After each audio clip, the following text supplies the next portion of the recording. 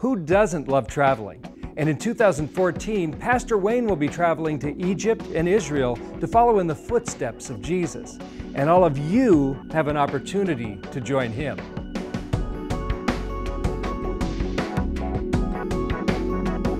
This 13 day tour begins in Egypt, home of such great landmarks as the pyramids, the Sphinx, the Egyptian Museum, and the Nile River.